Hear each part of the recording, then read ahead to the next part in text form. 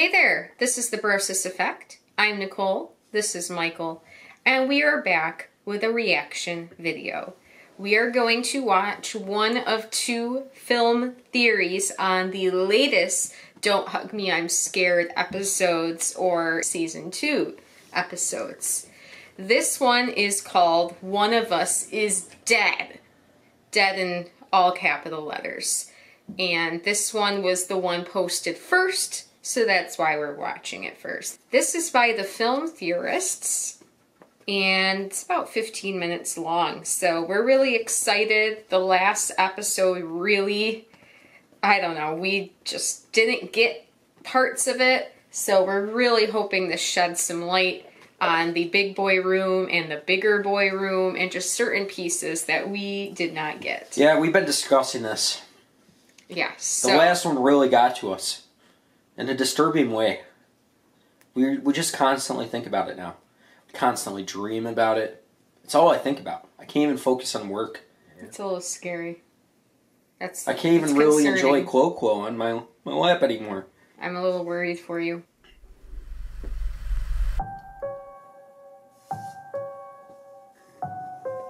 Three friends trapped in a house of dread. House of Dread. Lessons taught will fill their head. That's creepy. One a duck, the other red.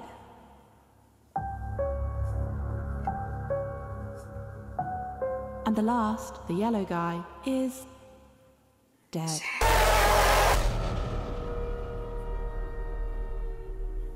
Internet. Welcome to Film Theory, the show that knows that a family is just a group of people who live together and have the same lawyer. Ladies and gentlemen, it happened. The new Don't Hug Me, I'm Scared TV series has finally hit the airwaves, and it is great. To catch you up, Don't Hug Me, I'm Scared, or DHMIS for short, started as a series of YouTube videos that took Sesame Street and Jigsaw and then made the two of them kiss. The YouTube series followed three protagonists named Red Guy, Yellow Guy, and Duck as they went on adventures, learned important lessons about things like or then injected pure nightmare fuel into our eyeballs with imagery like this.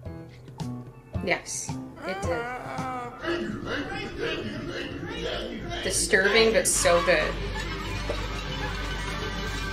That was our first episode. 2016, most of us thought that it had entered the great YouTube playlist in the sky, lost alongside Nigahiga and Jenna Marbles, fated to occasionally mm. pop up in recommended feeds from now until the heat death of the universe whenever the algorithm sensed that we were starting to get nostalgic. Or at least that's the way it was supposed to go until Don't Hug Me did the impossible and got a TV show. Earlier this year, the creators managed to wrangle together a real six-episode DHMIS TV series on the British Channel 4. And after watching it, I gotta say, it nails the tone of those original YouTube videos, all without feeling held back or tied down by them. In fact, it's clear that while the aesthetics look the same, the series has moved on. The calendar that appears in every mm-hmm. episode has moved from the original June 19th date that it was oh. stuck on to oh. June 20th. It's a turning of the page, a symbolic new leaf. And whereas the original series was all about the corruption of art and children's programming, this new TV series seems to tell a more personal story about these characters, because they are actual real characters now. No longer are they just symbols for kids kids, or creators, or ducks, I guess. These three now appear to have histories and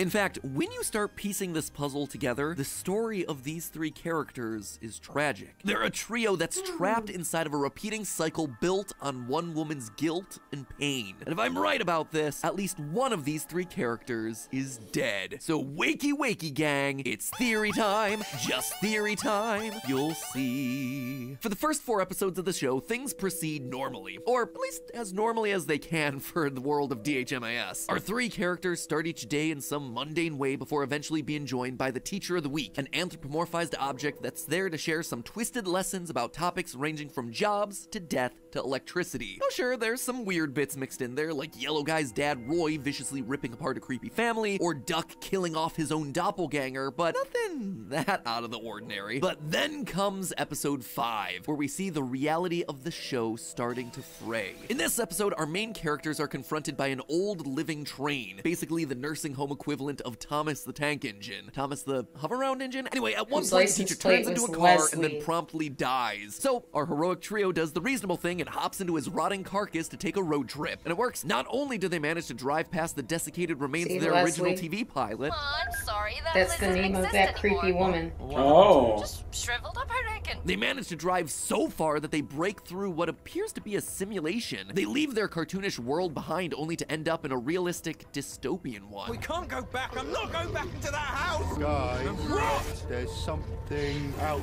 there. Lost and confused, they set up camp for the night. As they sit around a fire contemplating their new world and hoping that the neighbors will show up to help, a mysterious voice begins to echo through the night. Journeys made lessons learned. You may feel like you're Suddenly, Yellow Guy sees something out of the corner of his eye, and we cut to black. Only to then watch as a mysterious hand rolls a model of their car up to a dollhouse. The same house that we've been watching at the start of every episode. The journey always ends up back at home. Now, this is important because earlier this very episode, the characters had already talked about the episodic nature of content and how everything always winds up resorting to a status quo. All we do is, is sit around and then some guy comes and tells us about banks or vegetables. Nice to be back at home, eh? What are you talking about? We didn't even go anywhere. And sure enough, when we rejoined them in episode 6, the characters are reset right back to where we started, none the wiser about their junkyard excursion the night before. And that's when things start to really pick up. At first, the season finale's all about electricity. Our three friends get an electric bill and they don't want to pay it because Electricity is silly stuff that ought to be free. So, of course, their fuse box, Electracy, comes to life to teach them more about the wonders of electricity and how it powers phones and televisions and radios. And yes, The best part of song. that. When the lesson suddenly turns to portable sources of energy like batteries, Yellow Guy gives us the surprise revelation that he too is powered by batteries. No, I am half batteries. See? So he's not Which is alive. a strange detail that we'll come back to. Regardless, his current batteries are old, corroded, and clearly out of juice, so Duck switches them out for Electracies. Suddenly, the once doofy yellow guy is juiced up to the max, and instead of being dim-witted, his mind explodes with intelligence. Equipped with this new awareness of the world around him, Yellow Guy becomes the first person of the trio to realize that they're only on the bottom floor of what's a multi-story house. Yellow Guy climbs the stairs to discover the big boy room on the second floor. Inside, he finds older versions of Red Guy and Duck that are able to learn not just one, but two lessons in a given day. You seem. Big? Yeah, we're big boys. Big boys. Big boys. Try to keep Try up, keep mate. up, mate. Unimpressed, he continues up to the keep up, third floor. Uh, where he I finds the more advanced, Aaron. bigger boys room, housing up, even mate. smarter and more futuristic versions of Red Guy and Duck. Eventually, he's turned off by their heartless and cruel experiments, things like electrocuting an innocent lump of living flesh. So for a final time, Yellow Guy leaves the room and moves up another flight of steps. At the top of the house, things are extremely different. Here, Yellow Guy finds a door labeled Leslie, and we immediately get an answer as to what that means on the other side. My name's Leslie. It's nice to meet you. It's made clear that this is the woman that we heard reciting the rhyme at the end of episode 5. It was also her gloved hand that was resetting the dollhouse back to square one at the end of the last episode. But now the dollhouse is opened, and we can see small figures of the trio inside, recreating the exact events that we're watching play out in this episode. Yellow Guy is obviously full of questions, and Leslie promises to answer all of them provided he plays with the dolls. You help me tidy things up around here, and I'll help you. Promise. Promise. She then produces a large leather-bound book covered in a wacky-looking code before sending him back downstairs to his friends. Right as he's about to read it, Duck and Red Guy rip the batteries out of his chest in order to power the house. Yellow Guy forgets what the book was for in the first place and decides that it's something Incredible. the season ends as the three friends cheer at the destruction of the book, so close to answers, or even an escape, but instead trapped inside their ceaseless prison once more. Making matters worse, Yellow Guy never realized that there was yet another level to the house that he never got to. It's an incredibly What? sad, surreal ending to the season, which leaves us on this unusual cliffhanger. Can Yellow Guy make the journey up the stairs again? Based on the pictures that we see behind him hanging on the wall as he goes up, we know that he's made this journey before. Hopefully, there's a second season where he's able to do the whole thing again. In the meantime, though, we're left I with was a lot of thinking that's what questions. that The first and foremost being who or what is Leslie? She's the only human character that we meet throughout all of DHMAS, which in and of itself is odd. Her design design is also noteworthy. She's a bizarre mix of puppet and flesh. She's clearly a human, but her coat makes her look like one giant Muppet that's covered in fur, and her face has been stitched and scarred like a creature that's been sewn together. More importantly than her design, though, she acts like the puppeteer for this world. She's the one that's turning the crank at the start of every episode. She also appears to be controlling the actions of all the others through her miniature figurines. And when one of the dolls breaks, she has a drawer full of replacements. Nope. sorry. Don't worry. I always make sure that I have plenty of backups. Well, I suspect that I know what's going on here, and it all begins with one key line. As Leslie sends the yellow guy on his way, he asks whether he can stay on the top floor with her. She immediately rejects the idea by shouting, You're not my real son! Right, which I thought At first, was this just seems like a random outburst, a combination punchline jump scare to keep us on our feet. But I think that this is actually the key to understanding I- I was thinking that everything about this new series. Taking Leslie at her word here, Yellow Guy isn't her real son, but he's close. You see, I suspect that Yellow Guy represents Leslie's real son, a real son Mm-hmm. named David, a son who died. In episode 2, Death, we see the name David etched onto the grave where Duck gets buried. Why does it say David?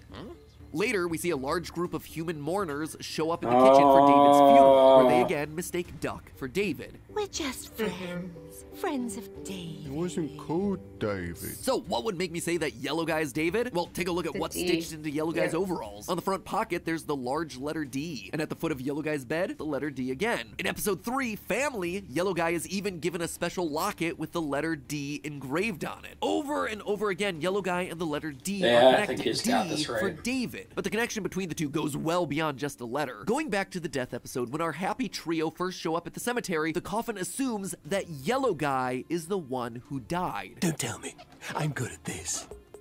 It's you, isn't it? And throughout the rest of the series, we watch as both flies and worms are attracted to Yellow Guy and no one else. It's almost like he's a dead, decaying body. Plus, there's a strange moment in the intro of episode 5 where Yellow Guy seems to dissociate and remember something about his past. I'm the one who had a dream where there was stuff like there was another me. He's clearly remembering a dream where he saw another version of himself. He's seeing David. The same thing happens again later that same episode when he looks out the car window. When I look out through it, it looks back in through me.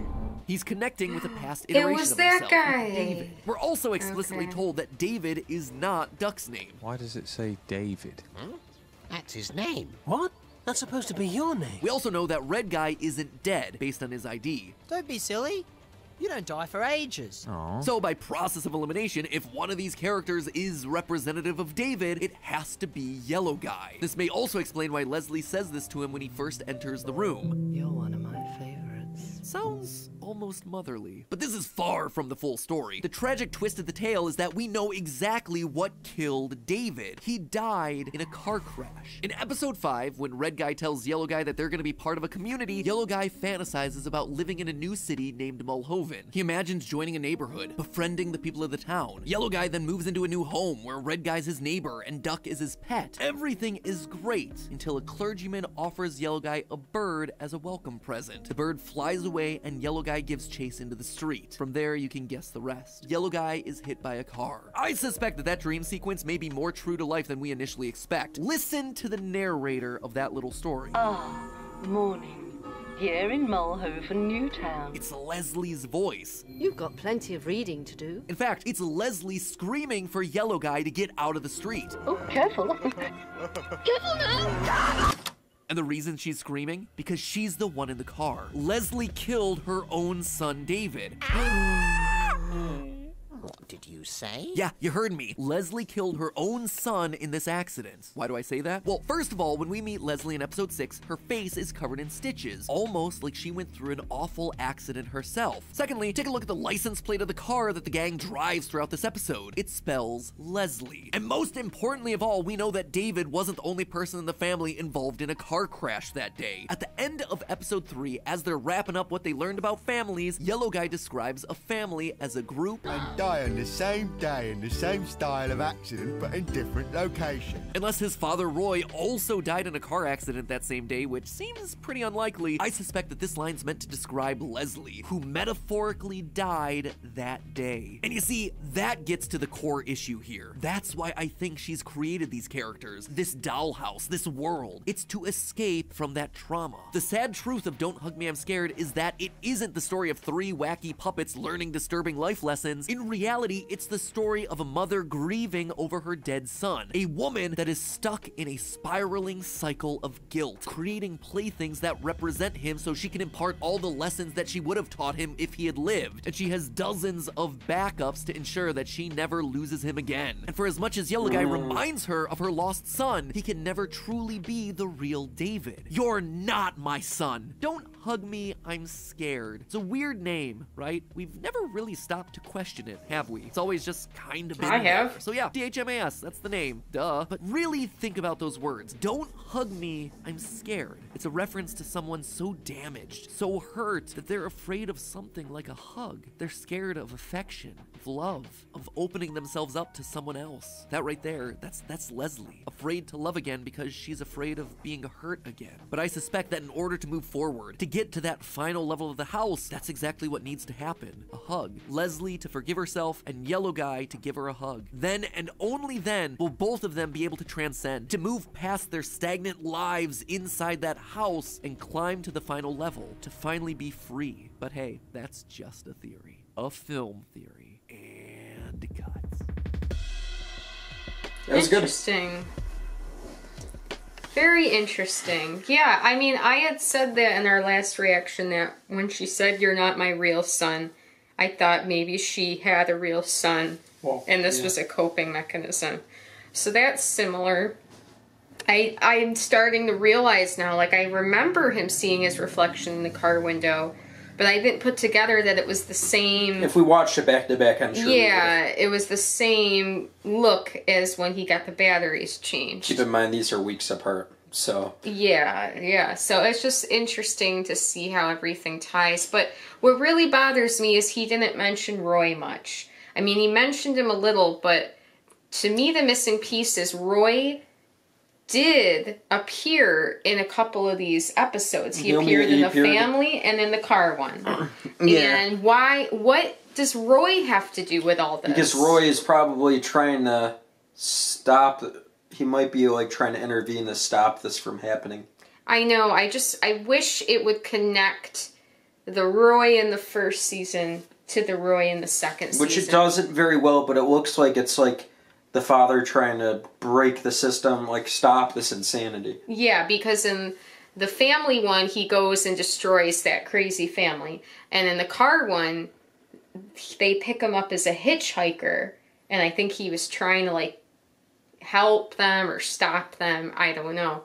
So maybe there is another theory by the film theorists that we will get to eventually, and I'm hoping that touches more on Roy and his role. Tell Neo that he needs to chime in here. And like, okay, it, mm-hmm. it it delved into Yellow Guy or David's backstory, but why the duck? Why the red guy? How, th- like, how did she come up with them? What is their significance? What are their roles in this? And that is something else I don't think was answered. So Well, maybe in the episode where he was imagining that life, maybe uh, the bird is representing the pet, and uh, the, The red guy is re- referring to the neighbor. Maybe the red guy is wearing a suit. Maybe it's just that red guy. Or maybe, yeah, and maybe she puts them in because they were involved in his death and it, she wants to, like, torment them. Like you did mention voodoo last time. It is very similar I, to I don't know voodoo. if it's voodoo though. Now that She's putting a doll in an I know, action voodoo and would, they're uh, doing it. it. voodoo would um be you mess with a doll and actually. I know. I think But I, that's I kind get of what's that. happening. I, I get it because yeah, their characters are. She's messing with the dolls in the house and, And it's- that messing with them, and she also had that book with weird symbols on it. So I don't know. That's just a theory as well. But I do want to mention something about those symbols. In the beginning, so in episode six, after they put the new batteries in him, it cuts to them in the kitchen and he does that crossword. And then he writes the symbols. Then he writes those symbols, He's and like he was creating his a own different subset. His own subset. Those symbols he wrote looked a lot like the symbols on the book. I agree. So, like this, the guy in this video said, he could have been through all this before, and those symbols were already in his head from something prior because they do look similar. I did not see there were stairs up a further level. either. That is what would be up there. interesting. But he once again did not really touch on the big boy room or the bigger boy room. I mean, he So summarized older it. versions of themselves. Yeah, but like, why have all these different versions of characters? I I just want more. Maybe when he grows up, he that character. I don't know. The, I don't know. Yeah, they get older, so they have to move up, and then she has to start with fresh younger. Yeah, something like that. It's weird. It, it solidified some things, but it still leaves a lot of questions. Well, let us know if you have any theories that might help fill the holes for us. And we're thinking of maybe doing some sort of tier list where we rank the Don't Hug Me, I'm Scared characters. Let us know if you'd be interested in seeing a video like that. No, I would. I would rank the red guys. Never mind. Can't go into it. Can't, go, into, it. exactly. Just let us know if Just you'd be us know. interested. If you enjoyed this video, please leave a like, comment, subscribe, and most important, importantly, have a nice rest of your day and good night. Bye.